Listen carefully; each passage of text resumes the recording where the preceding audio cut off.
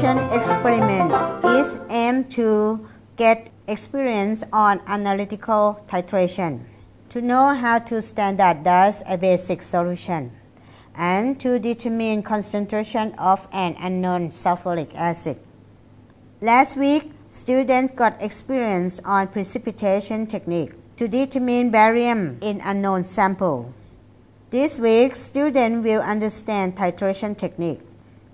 Titration is a technique used to find the concentration of the sample solution. Usually, reagent with known concentration is filled in the burette. It's so-called titrant and unknown sample or analyzed sample or titrant is pipetting in the Erlenmeyer flask.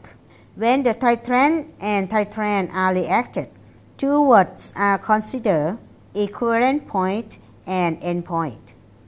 Equivalent point is an ideal point for the completion of titration. Endpoint of the titration displays from changing of indicator color. Hence, the endpoint and the equivalent point will be precise and accurate if the right indicator is used.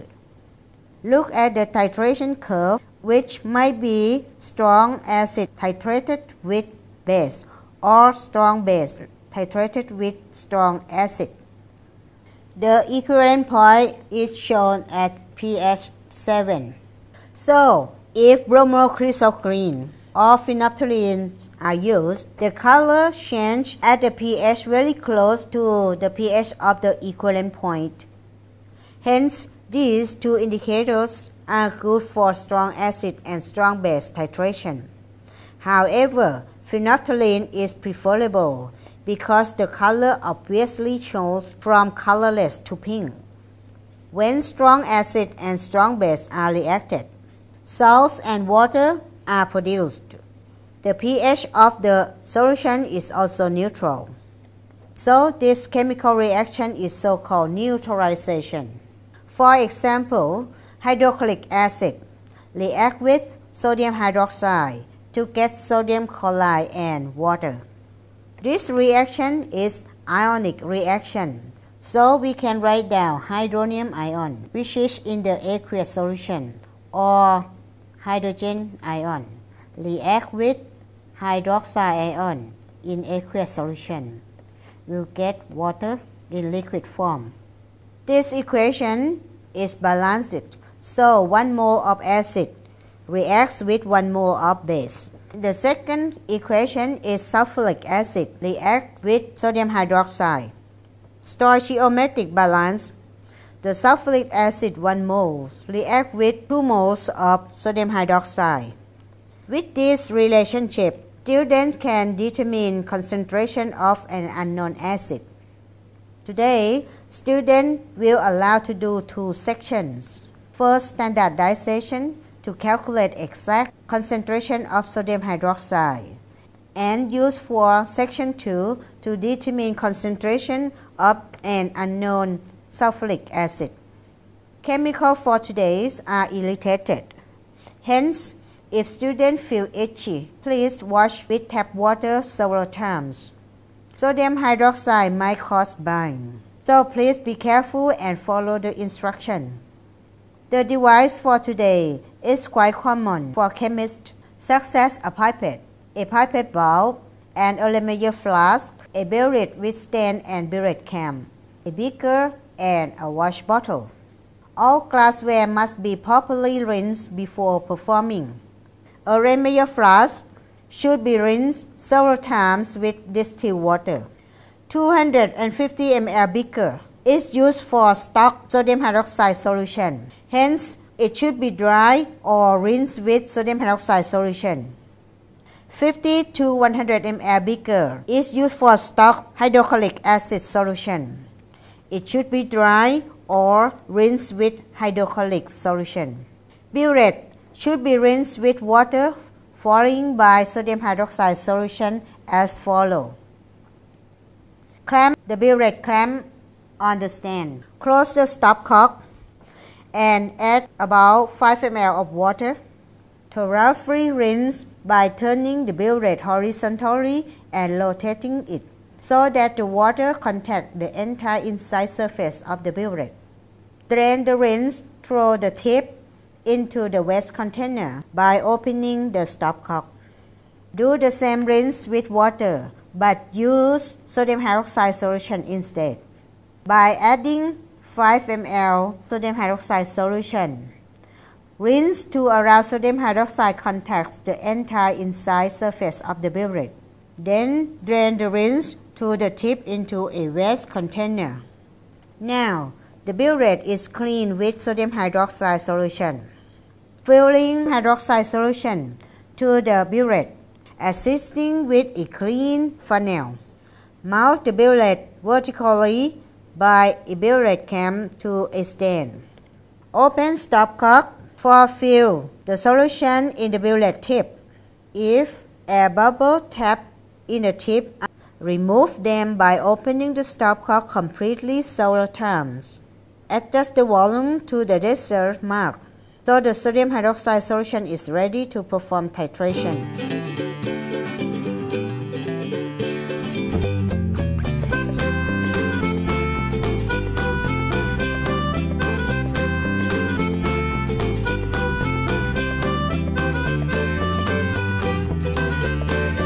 Pipette should be rinsed with water and solution to pipette as follows.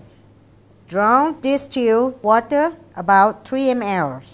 Thoroughly rinse the interior surface of the pipette by turning the pipette horizontally and rotating it. Drain the rinse to the waste container. Do the same for acid solution rinse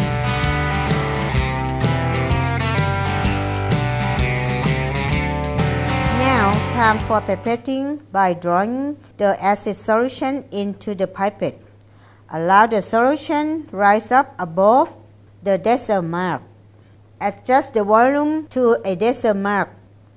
Transfer the solution to an Erlenmeyer flask through the surface of the flask. Add two drops of indicator. Now, students are all ready to perform titration where the burette containing sodium hydroxide solution and in the flask here containing acid solution.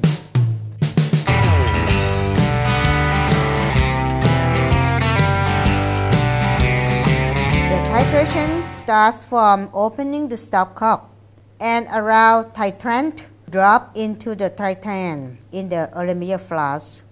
During dropping, the flask is vigorously swirled.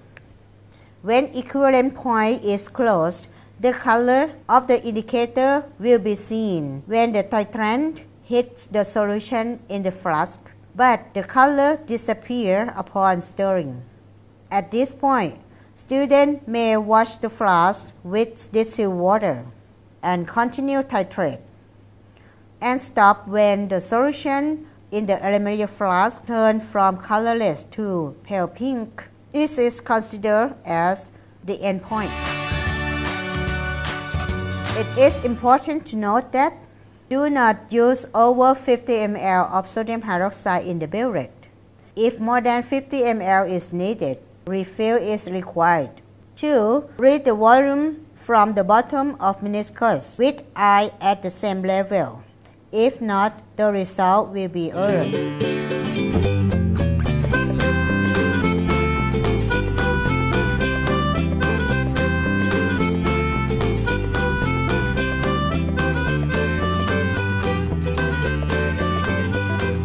Before going to calculations, keep in mind each section of experiment 10 ml acid is pipetting into a Erlenmeyer flask.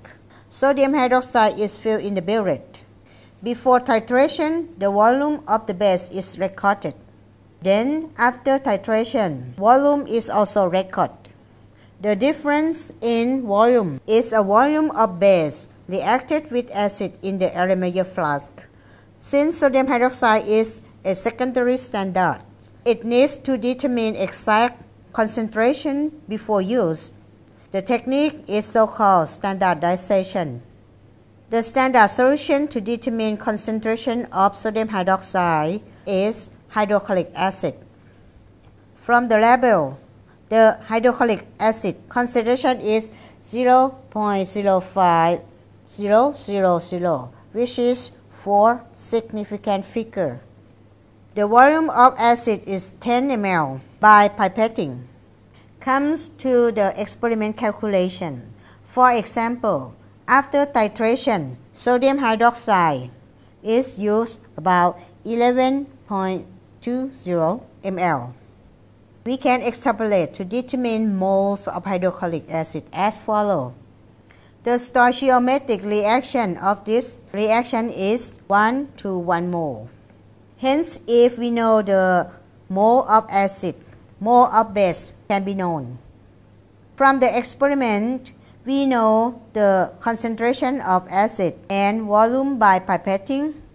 Hence, mole of acid can be extrapolated by 1000 ml of hydrochloric We will have hydronium ion of 0.5000 mole. But in the titration, we use hydrochloric only 10 ml.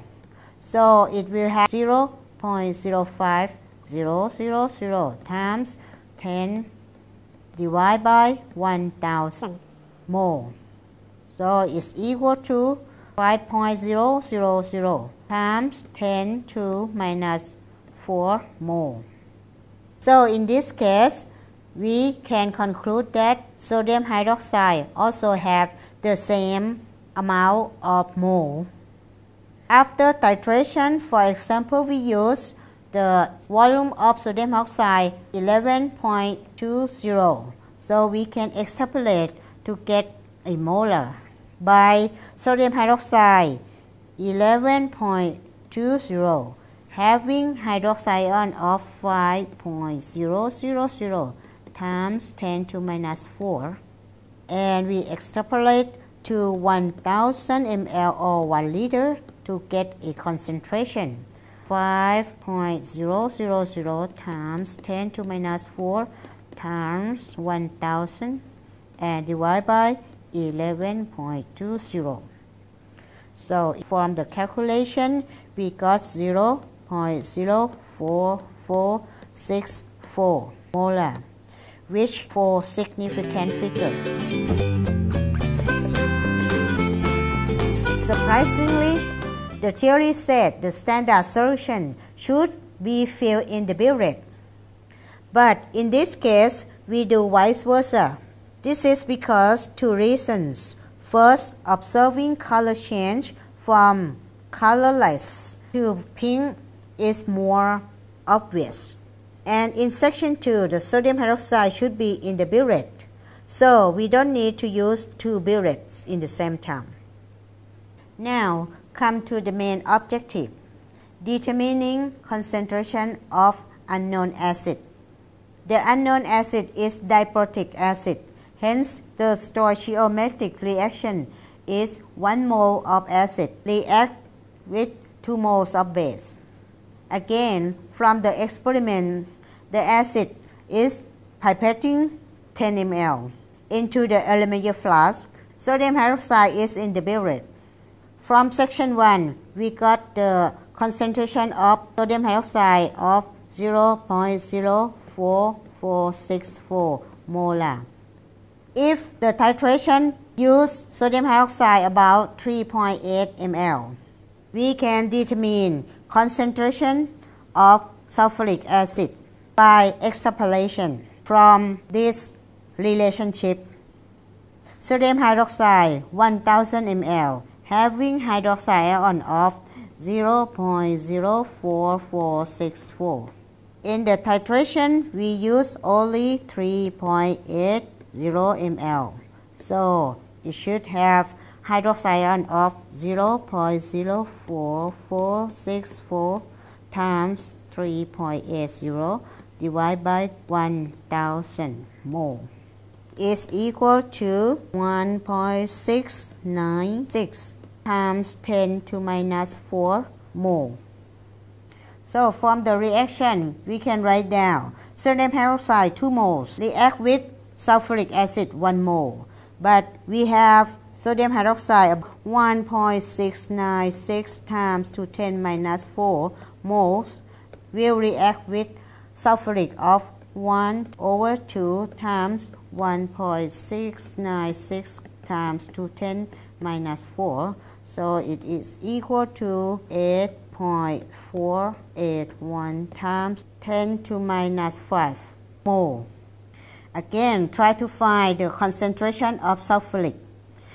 We use sulfuric acid for the titration of 10 ml. It will have hydronium ion of 8.481 times to 10 minus 5 mole.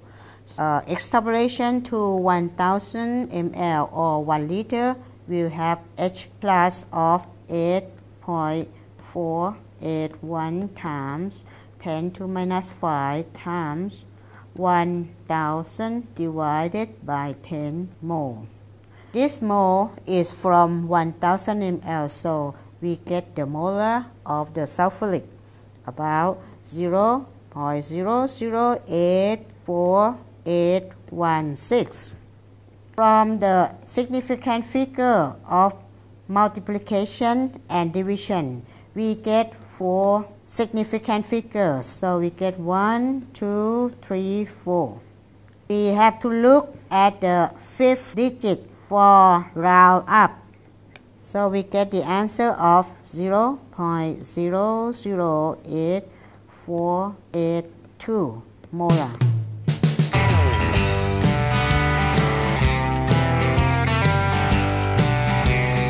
Now we have two concentration of base. One is from the label and the other from the experiment. So with these two different, we can calculate the relative error by replace the data. This is the from experiment, so it's equal to 0.04464 minus 0.05 divided by 0.05 times 100. So we will get the relative error. In conclusion, we have two reactions First reaction acid react with base with the mole ratio of 1 to 1. Hence, if the titration use the same volume of acid and base, it may conclude that the concentration of these acid and base are equal. In the second reaction, sulfuric acid and sodium hydroxide reacts with the mole ratio of 1 to 2. Hence, if the volume of the titrant is close to the volume of acid, it means that the concentration of acid is about half of the base concentration. If you have any question, feel free to ask.